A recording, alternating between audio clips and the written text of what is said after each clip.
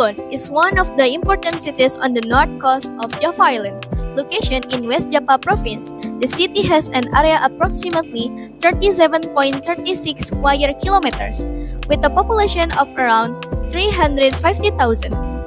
Cirebon, a city that continues to develop on the north coast of West Java. New buildings are being constructed, roads are being widened, and densely population area are expanding. However, behind the progress, something feels different. The city weather is getting hotter. This phenomenon is known as the urban heat island effect. We try to trace its cause, impact, and solution. Check exciting scientific data, the urban heat island occurs when the air temperature in urban areas is higher than in surrounding areas, with a difference at up to 1 to 7 degrees Celsius. This occurs because of the large amount of hard surfaces, such as asphalt and concrete, that absorb heat from the sun during the day and release at night.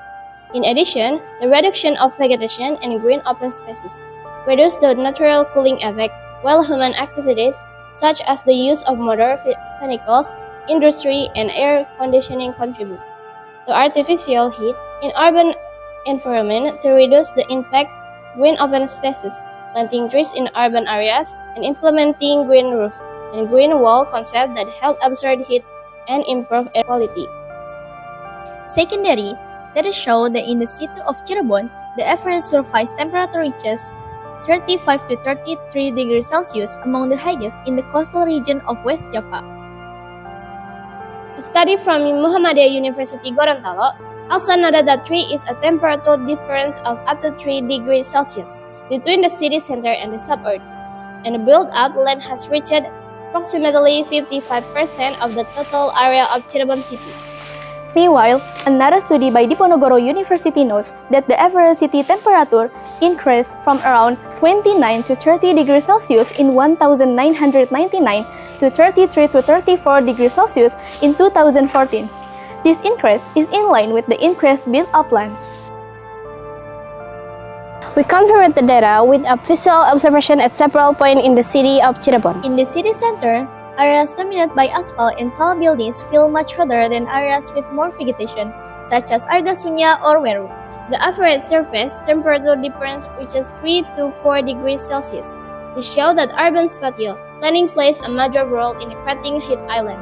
It means that the urban heat island is not just a number, but a real phenomenon that we can feel. This phenomenon increases electricity consumption, worsens air quality, and impacts public health, especially children and the elderly. In the context of human geography, this shows the relationship between spatial change and the quality of life of the community.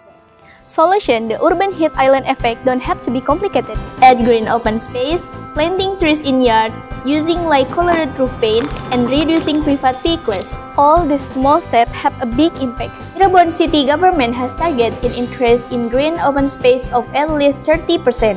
This effort needs community support to make the city cooler and healthier. The urban heat island is a reflection of how we manage our city. Development must be balanced with a sustainable.